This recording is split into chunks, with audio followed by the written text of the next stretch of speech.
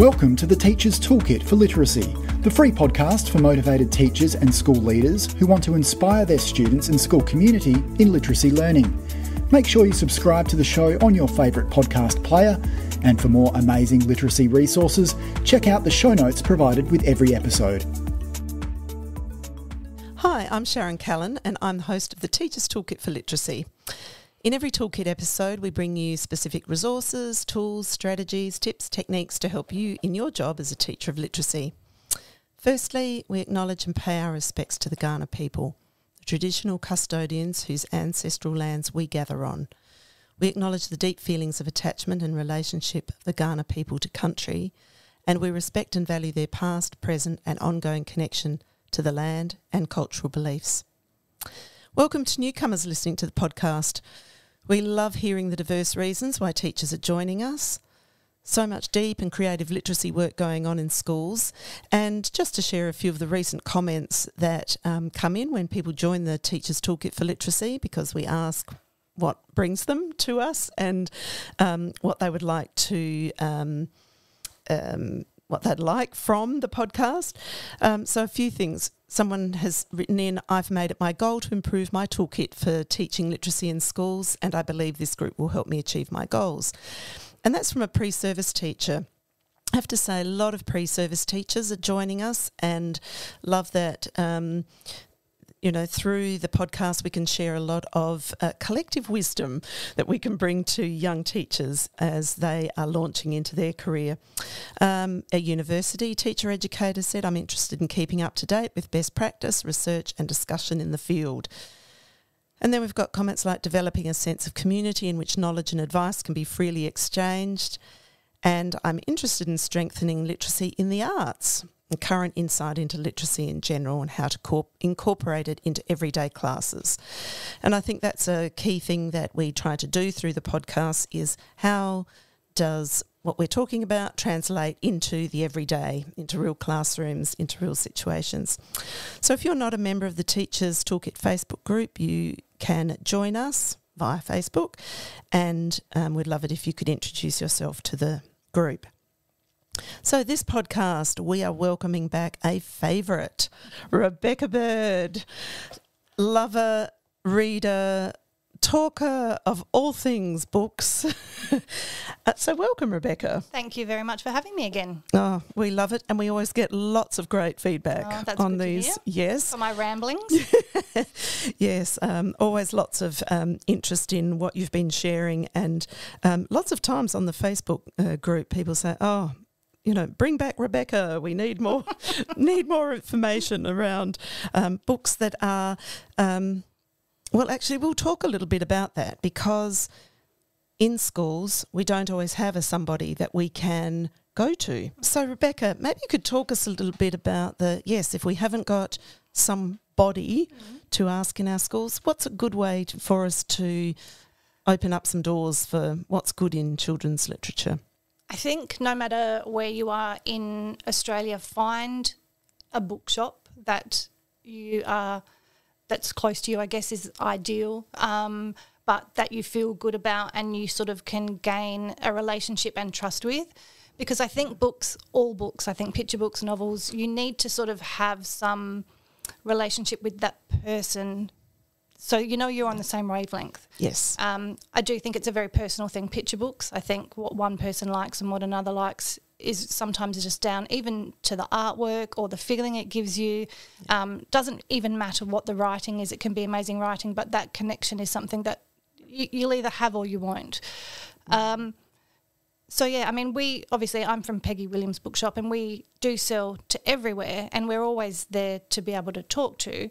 Um, but you would probably have a bookshop wherever you are where there's somebody who's got a passion for children's books that you can absolutely tap into and that they would be more than happy to share what they know, what's coming up, what's been amazing.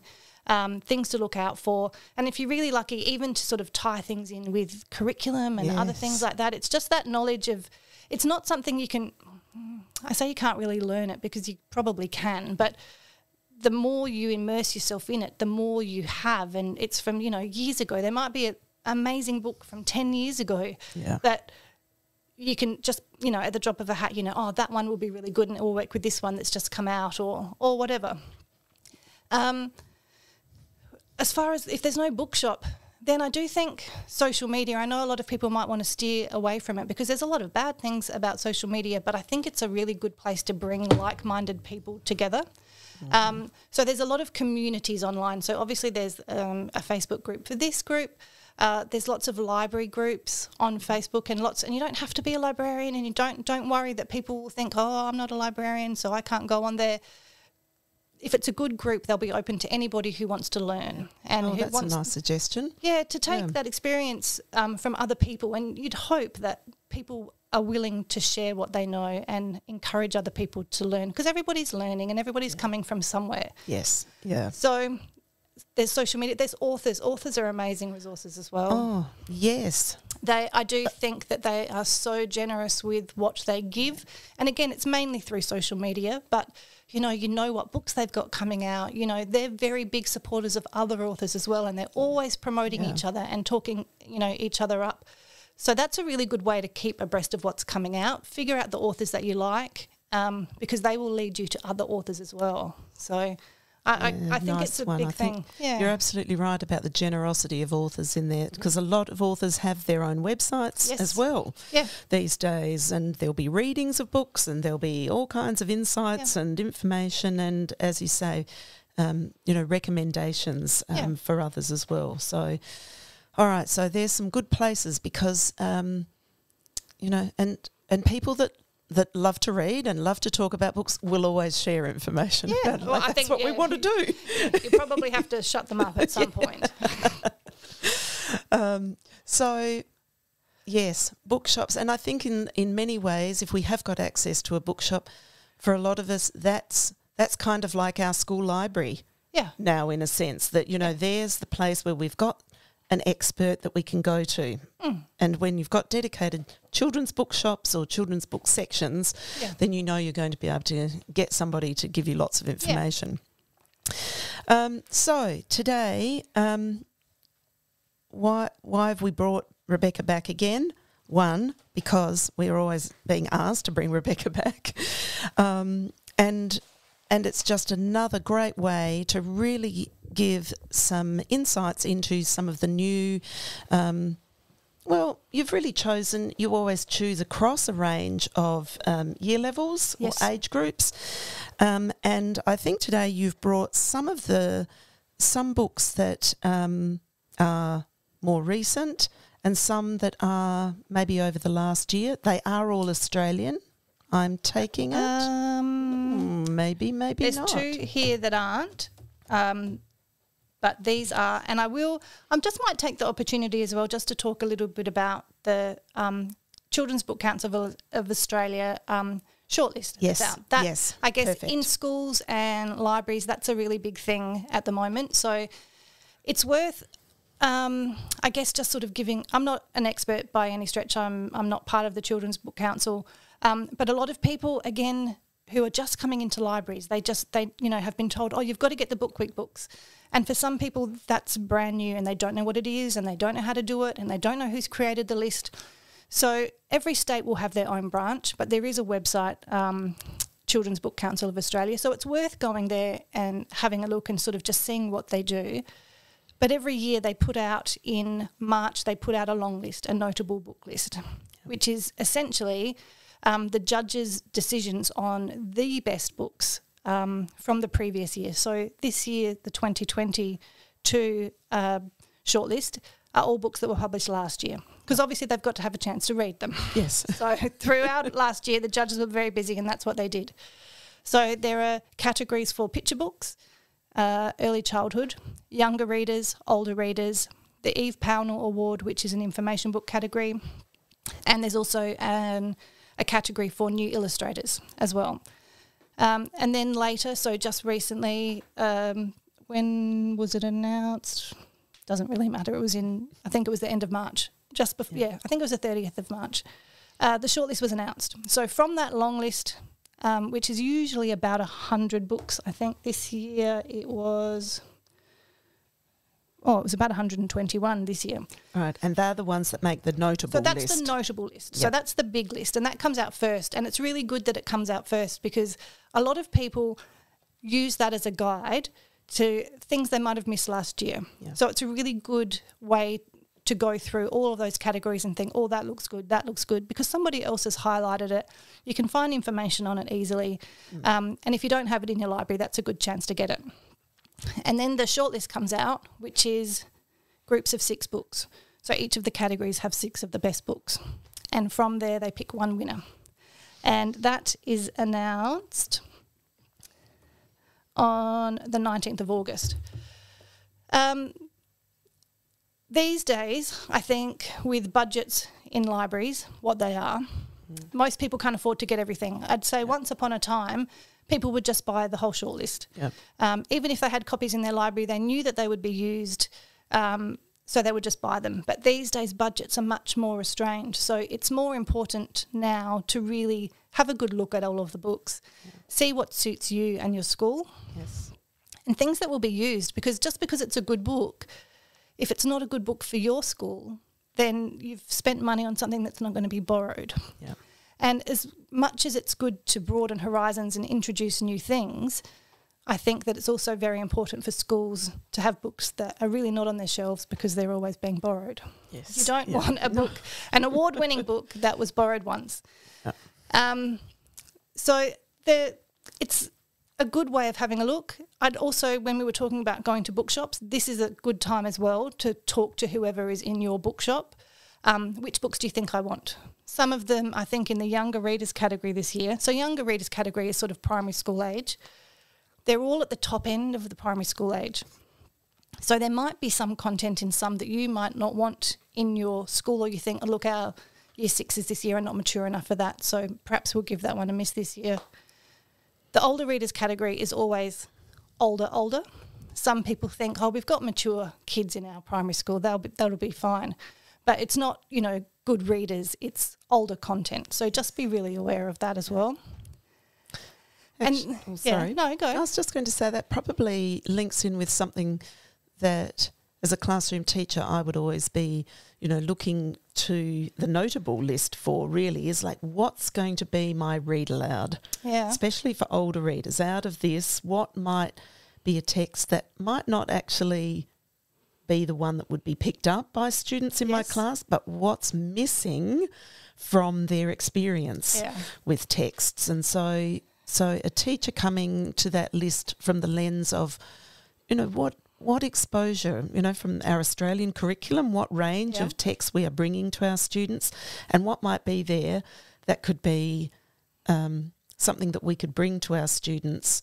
Um, so I guess in that way, some teachers thinking about some of those Yeah. Books that they want to bring in, and not just a, you know a lot, not just a librarian, but someone Yeah. who's in that book buying um, position in the school. And I think it's worth remembering as well that this is a literary award.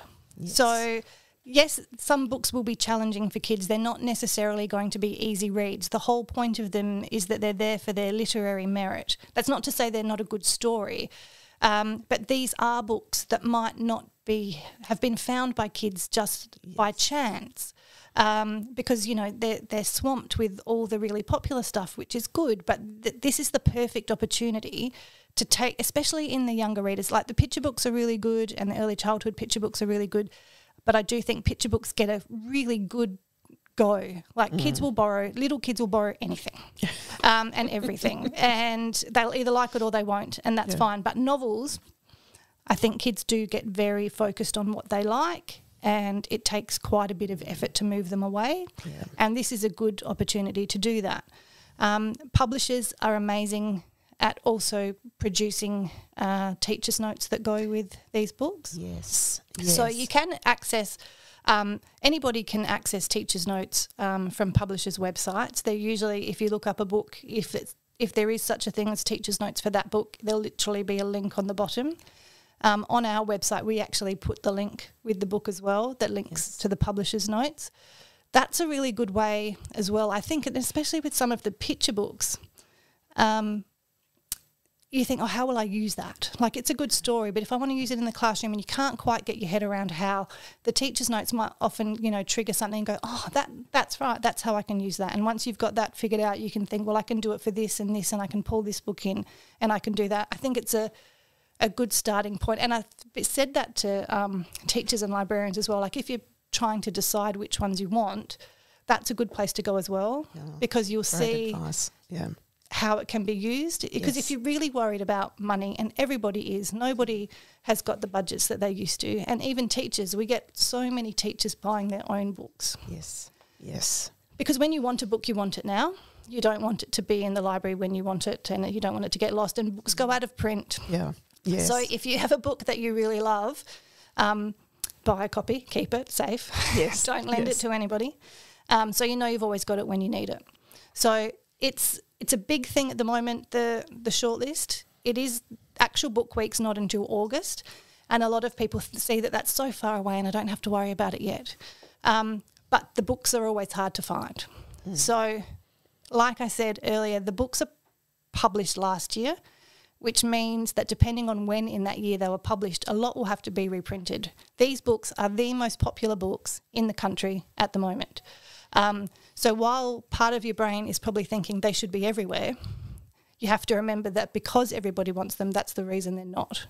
Um, they will come in in dribs and drabs. So my advice is to get your order in as quickly as you can if you haven't, and then just wait. And they will come, um, but don't wait and think I'll just get them two weeks before book week. That'll be fine. I don't need to worry about it until then, because by then you might not get them. Yeah, yeah.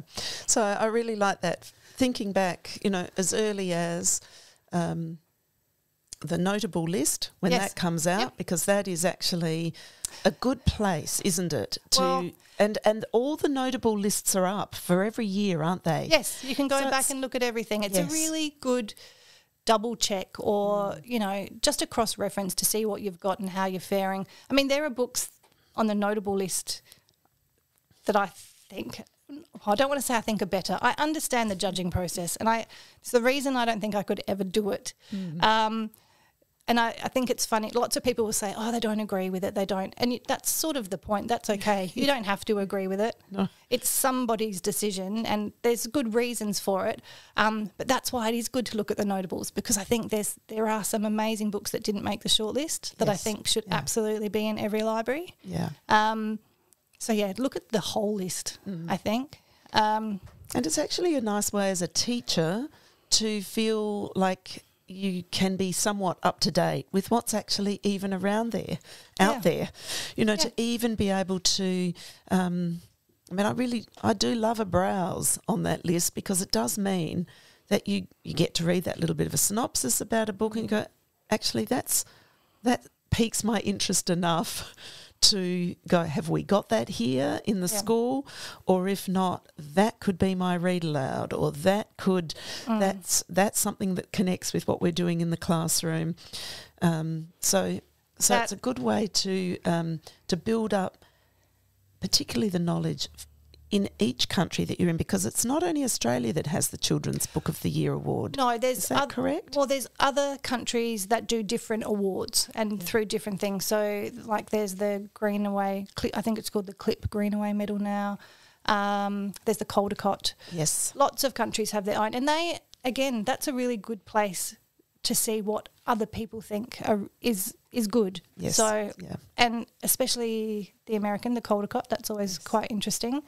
Um, and I was going to say on the Children's Book Council of Australia website, they've actually got, I looked at today, they've actually got the judges' critiques that you can look Ah. at for the shortlist. Yes. Yes. So if you are questioning their judgment, um, it's always, I think, good to read why they chose it. Mm. Um, and that gives a little bit of insight. That's even more than a blurb as well. So I think that that critique is actually very useful um, because you can look at that and go, oh, okay, I can see why that's on there. Oh, I didn't really think about that aspect of that book.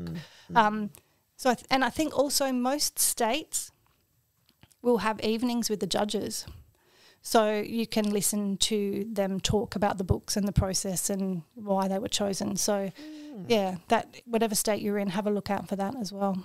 Nice. That that's passed me by. That one did not know that existed.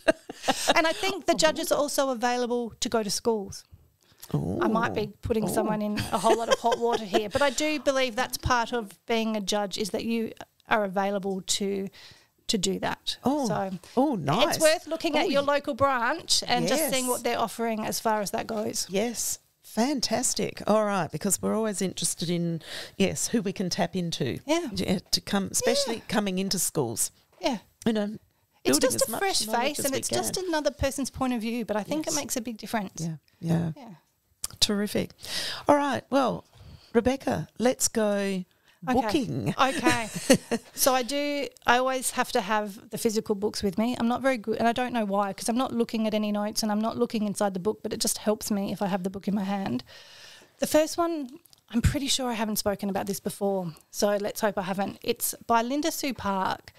Um, it's from America. It's a little hardback novel. It's quite highly illustrated throughout, and it's called The One Thing You'd Save. Now, it's the sort of book this is the this is the perfect book for a classroom. I'm not convinced that kids will borrow it, which isn't a very good recommendation. But once it's introduced to them, I think it has the best idea of nearly any book I've ever read. So Linda Sue Park has written this book. It's a verse novel, and she's used a particular type of poetry. It's a poetry called um, Seijo, uh, Shizo, um, and it's Kore- Korean poetry. Spelt. It is spelt S I J O. Yes, And she's given me a pronunciation here, which is very helpful. It the premise of the book is the teacher says to her class, and I think they're probably year fives, let's say, if your house was on fire and you could save one thing, your family is safe and your pets are safe. What is the one thing you'd save? Oh, great question. Yeah, and it's it's a really interesting look. So each of the sort of poems is from different kids' points of view. So at the start you get, oh well, money, of course, or the credit cards. That's what you'd get. And then they sort of just throw things out. And then one says, well, I've got this jumper at home that is knitted from wool that my grandmother made for her husband. Oh. And she undid it and knitted me my own jumper. That's what I would save. And once that sort of is out there, all the kids sort of stop and think, oh, okay, let's think about this. And they ask all sorts of questions like, is my rock collection one thing? Or, you know, so it's it's really interesting and because it's illustrated, there are pencil drawings through the whole thing. So as well as you get the words, you also through the illustrations get a little bit of a glimpse into each child's life. So it might be their bedroom, so you can see what they've got on their bookshelves and what they've got on their walls, and it's just I. It makes me wish I was in a classroom because I think it would be the coolest thing to do. I don't know why I don't have that book, Rebecca. I So it is, like I said, it's not published in Australia yet. But when I saw it was coming out, we just keep getting it in from the US because um, I, I, I just think that there's been nothing like it. It's very thin. It's not a long read. It's one of those books that it's not going to take a long time to read it, but it will stay with you for a long time. Yeah. And I think what you could get out of it in the classroom would be very interesting. Yes, because it it can take it to not just being what I read, but to, to what I well the thinking that it prompts for yourself. Yeah. The discussion you Yeah. would have as a class around Yes. that. and So how and how opinions change. Like I said, because they jumped to the gun and then thought, oh, hang on a minute. You know, there's lots of things you can replace. What can't you? Yeah. So what's meaningful? So it's written. Um, so it's from the teacher's point of view. Well, the teacher Or- the teacher prompts um, the class, and then it basically each child is talking about what they would keep. right. Um, and then we see their thoughts so- change over the course of the book. Yeah. And like I said, you know, you Nice. see just the you can't see at home listening, No, but, it's beautiful. It's all black, all in black and all white. in black and white. Yeah. So it's it's just pencil illustrations, and you know, some kids live in you know fancy houses, some kids live in apartments. Um, Yeah, it's Oh, what I what a beautiful world to go into. yeah. Right. So Linda Sue Linda Sue Park, Park. and the The book is called The One Thing You'd Save. Right. On my list. We're buying that one.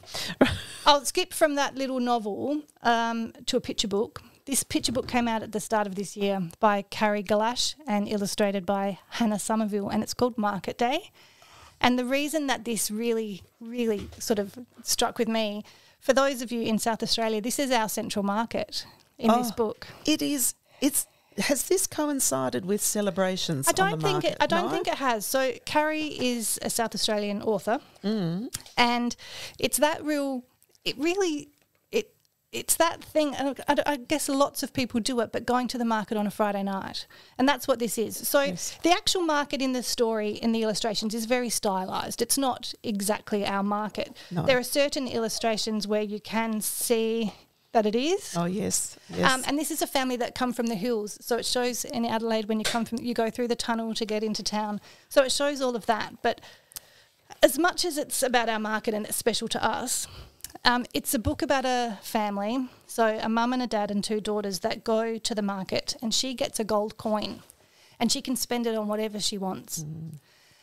And it's interesting because it goes through all the different market stalls, all the different kinds of cultures that are there, all the different kinds of food that are there. And again, she can do anything she wants. And I won't tell you what she spends it on, um, but what she does do with her money is just, it's one of those books that just warms your heart and you think, oh, that's lovely. um, so, yeah, it, and it's been so popular, I think, because it does strike a chord with a lot of people. You know, inquisitive kids that are willing to try lots of things. And, Yes. you know, there's things she doesn't like at the market, like the octopus and things like that. Um, but it's a really lovely family book. And for those in South Australia, you'll pick up on all the little things. So I do like that one. Oh, nice, nice to yes, and and of course that notion of you know for children that grow up going to markets yeah, it could be any across market. Across the world, you know that idea of going to the market and all of those experiences yeah. Of people It's and the- tastes and smells sounds ex- and sounds and yes, so it would be a very sensory sort of book. I'm imagining Mm. and, and, as, and as much as the text, because it is a market and because you've got all those stalls, um, there's a lot to talk about within the illustrations. And I like that as well because sometimes when you're sharing, especially like a one on one sharing, it's nice to pick up all the other things that are going on in the story, not just what we're being told by the author. There's often through the illustrations a lot of other stuff happening. and they look to me. I just saw briefly look like double page spreads. A lot of them. Yes. and with and just full Yeah. of things to explore. Yep. Lots of Oh, different yes. people, lots Yeah. Mm. of different. Yeah. It, It's really. Oh, it's beautiful. Oh, you could talk. That would be that would be a come back to that again and again Yeah. and again book, wouldn't it? and You it know, and it feels nice for those of you at home that can't see it. Once once you touch it, you'll know what I mean. So that's lovely. Um, another one that literally just arrived this week, I think. Um, this is an English one. This is called Grandma's Story. It is uh, what they would call, guess I call these days is like a narrative nonfiction. okay, um, and a a- picture book again. Yeah, so Yes. it's picture book format, and even uh, like on this year's um, Book of the Year award in the information book category, we're finding more and more of that picture book non-fiction. Yes. So it's like a double whammy because it's very accessible. It's not your traditional information book that sort of has a contents page and you go here to get this and here to get that. By reading the story, you get the information.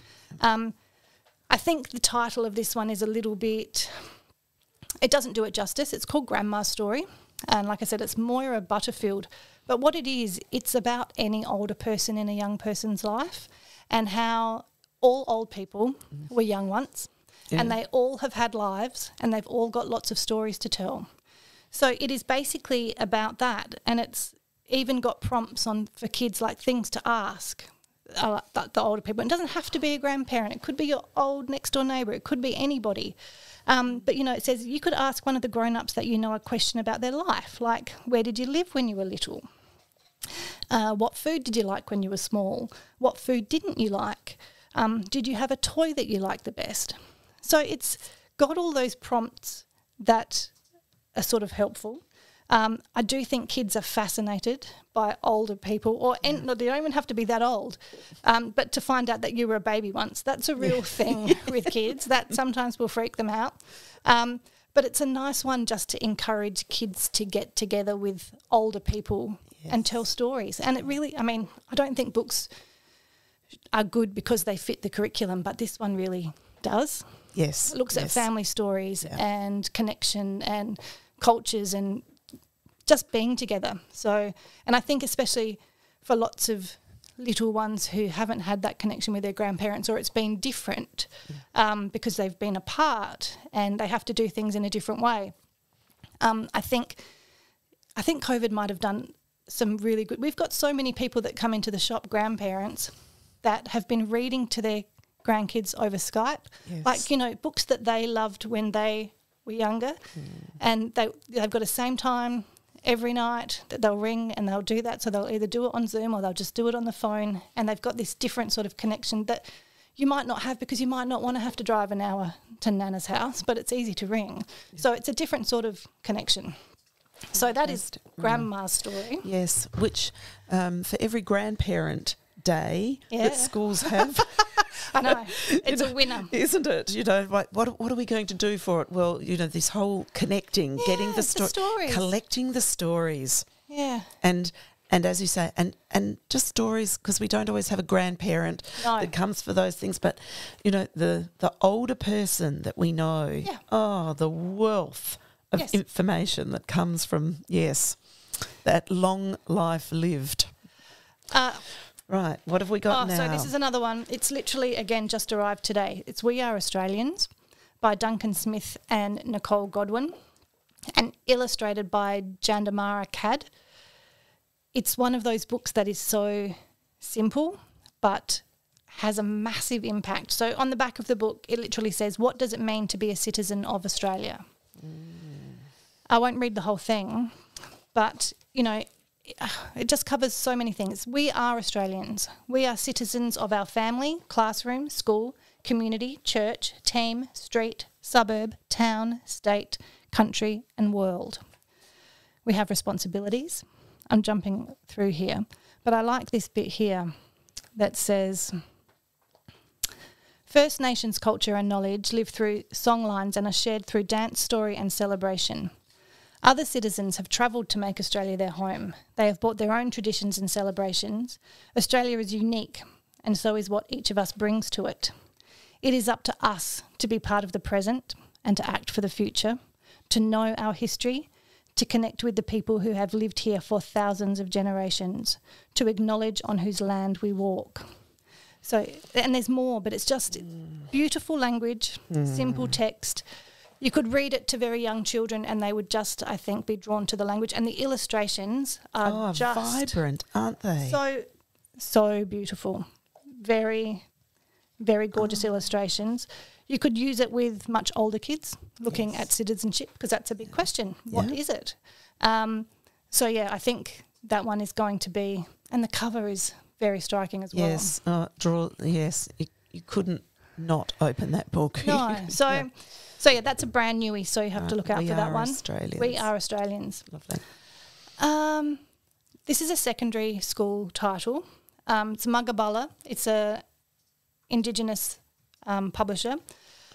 It's called Tracks of the Missing.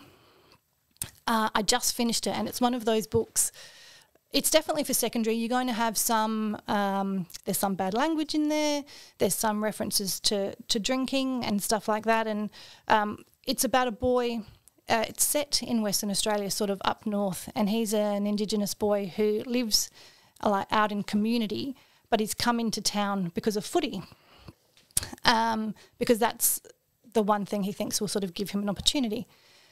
Um, and that's where this, this book is sort of, it starts out as one thing and turns into something else because an old man has died um, who was a supplier of, they call it sly grog to Indigenous people because they've got restrictions in, you know, these towns and for, you know, responsible service of alcohol. Um, and so he'd been selling and he was found dead in a dam, drowned. And then you have a school bus of the year 12s that have gone on camp that's missing. and they start to worry that these two things are linked. So it becomes a real mystery. So this boy and his grandfather go with the local policeman to track because the grandfather's a tracker, so they've got to go and um, track. So it's a real. There's quite a bit of tension. Um, he also feels responsible. He did something that he thinks might have affected what happened to the bus. He doesn't want anybody to know.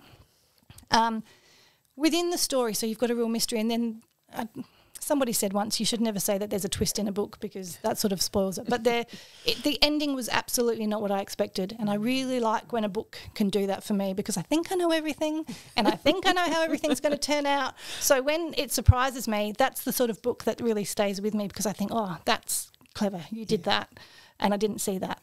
Um, but within his story, it's not teaching us about culture, but it is giving us an insight into what it is like um, how he and other Aboriginal people are treated by people in the town, by teachers, um, by law enforcement. Um, it talks about the respect they have for each other and for their laws and for culture. It's, yeah, I really, really liked it. Mm. Um, I don't like to say it's a good book for boys.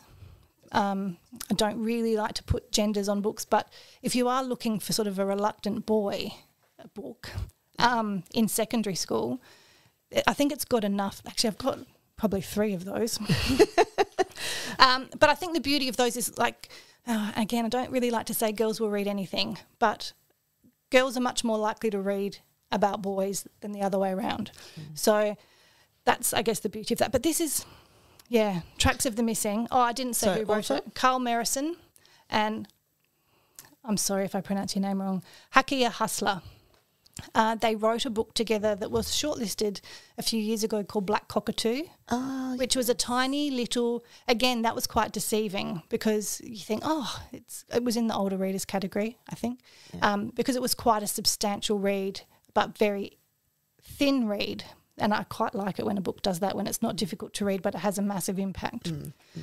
Um, just quickly, uh, a book called Seven Days by Fleur Ferris now, Fleur Ferris is an Australian author who has written a lot for older secondary, I would say, sort of middle to older secondary. But this new one called Seven Days is, I think it would be fine for upper primary and early secondary.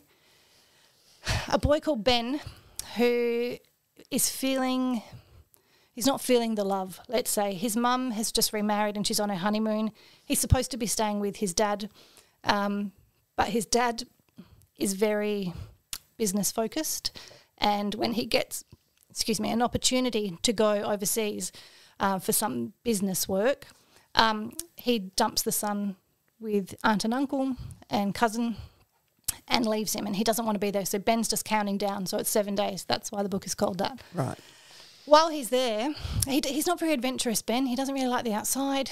He doesn't really like doing anything dangerous. Um, and his cousin's all about dirt bikes and climbing, and you know he doesn't really like animals. And this family um, have rescue animals. They've got a kangaroo that always wants to attack him. They've got a goose that always attacks him. Um, they always do. oh, but, and then he finds out that his family and another family in town have this feud. They hate each other because of something that happened years and years and years ago. And when he finds his great great great grandfather's diary, he thinks that there might be something in it. And um, it was all about these stolen jewels. Oh wow! This so, is this is getting really so, interesting. And he, he gets a map and everything, and he finds out where it is. And so in the middle of the night, they've he's got to sort of let go of all his fears, and he's got to do all of the things that make him uncomfortable because he wants to put everything right. Mm. Um, there's a lot of action. There's some humour.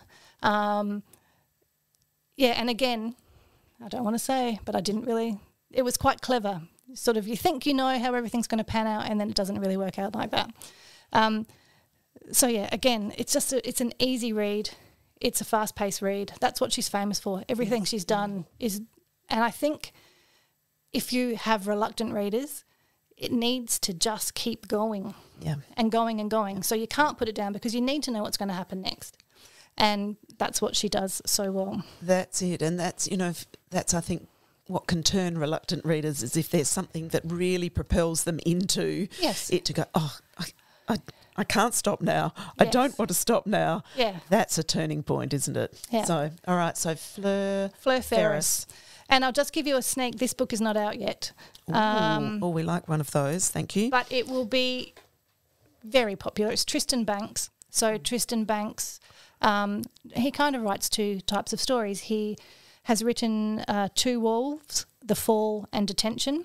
Uh, before this, which is sort of aimed at that upper primary, early secondary, which uh, sort of tackle serious, not too serious, but thought provoking topics. Um, for that sort of age group. Then he has a series um, about a character called Tom Weekly, which are much younger, very, very funny. Um, so he's very clever. He's really got everyone covered. so this one is called, This one's set. this one is the older. Right. So it's not funny. I mean, it has got humorous elements in it, but it's definitely of the more serious note. Um, it's called Cop and Robber. It reminds me, I guess, a lot of the Two Wolves story because I think just because it's the father and son. So, without spoiling it too much, the book starts off at a petrol station, and the boy's in the car, uh, and he's looking into the service station where he sees his dad, and his dad is robbing the service station. And he's just mortified because his dad promised he would not do this anymore. And to make matters worse, he sees his school principal pull up in the car next to him. So he sort of slinks down in the seat, and as his dad's trying to get out of the police station, uh, out of the service station, he knocks over something, and everything goes crazy. And then his dad gets in the car, and they're off, and there's a chase. And they also happen to be driving with pumpkins in the back, um, which he thought they were picking up legitimately, but no, they weren't.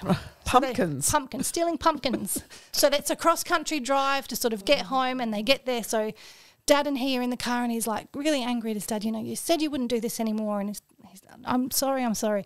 So they're there in the house, and there's a knock on the door. Open the door. It's the police. It's also the boy's mum. So the parents have split up. so that's Oh, the premise is- of cop and robber. Robber. So the dad is the robber with a good heart. Like, Mm. you know, you don't want to say criminals are good, but, you know, he, he really feels like he just wants that break. He just needs that break. And you've got the mum who loves her son and respects, in a way, the father. Um, but it's not, it's her job to It's- uphold yeah, the law. Uh, and then the dad sort of wants to involve the boy in something, the one thing that's going to sort of change him, and that'll be it. After that'll be it. And but yeah, I definitely won't tell you any more about that one. But Oh no, Um, no, no, because we all want to read that one now. Yeah. I want to get so that one into that, one is out in July, so you still have a little bit of a wait. But Oh right, okay. So we we yeah, can sorry. we can pre-order probably. Oh, oh um, any Would it? bookshop you'll be able to pre-order it. Yes, Yeah, yeah, yeah, yeah. yeah. We we see books mm, three months ahead. So at the moment we're looking at titles coming out in August. Yes. So most bookshops will have that sort of information to hand.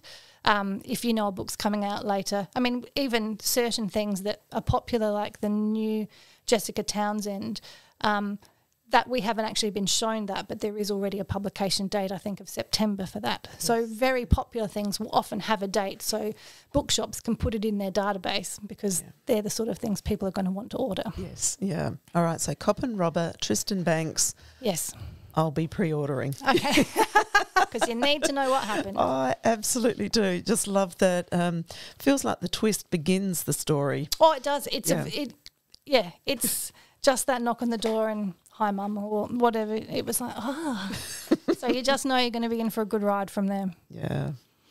Fantastic. So, all of the books will be listed um, on the show notes and um, links to those so that um, people can follow up on any of those. And um, as always, Rebecca, lovely range of, you know, for our primary and our secondary um, teachers, parents, those that are listening in, um, so that there's plenty to choose from from there. And like a good book club always does, it Yes. just gives us that little taste of something to say, yes, that's something that I definitely want to follow up on. Thanks so much, Rebecca. It's always wonderful to have your um, insights and energy, Well, thank you very much. passion. I'm into books. always happy to talk about books. yes. So everyone, listen. Yes, if you haven't um, listened to previous podcasts um, that Rebecca has done. You'll get lots of, there's always good um, recommendations in those.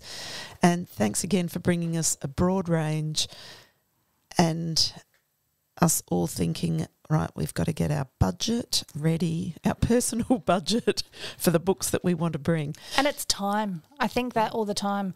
I, if I stop and think about all the books I'll never read, Yeah. it's quite depressing. So you have to really pick and choose, I think. Uh, Nancy Pearl. Have you heard of? Do you know Nancy Pearl, the Don't- I don't librarian. American librarian? She's got this great quote, and Yeah. maybe I'll just Yeah, sort of wrap up with. Um, she talks about um, when is it appropriate to abandon a book, and she really talks about that that children should give. Certainly, um, you know, upper primary and secondary students should give a book fifty pages before they abandon it. Because really how can an author do everything you know in the first couple of pages to get you into the book? Well maybe Tristan Bancks has done it right there. But she says 50 pages give it 50 pages. But she said once you hit the age of 50 you're allowed to start subtracting your age from 100 and read that many pages because you've got less years left and so you just haven't got time to put so much so much time into the books that you want to get through. So yes, having the insights is nice to know that we can invest whether a book's going to be worth investing our time into. Yeah. Yeah, to go and follow up and chase up. So thanks again, Rebecca, and um, enjoy the follow up reading that you do as a listener. thanks. All right. Thanks, Rebecca. Thank you. Thanks for listening to the podcast. To make sure you don't miss any literacy learning tips and insights, please subscribe to our show on your favourite podcast player. At Cue Learning, our literacy specialists draw on over 30 years of teaching and international consulting experience to deliver world class learning solutions. We equip, empower, and support teachers to become their authentic selves.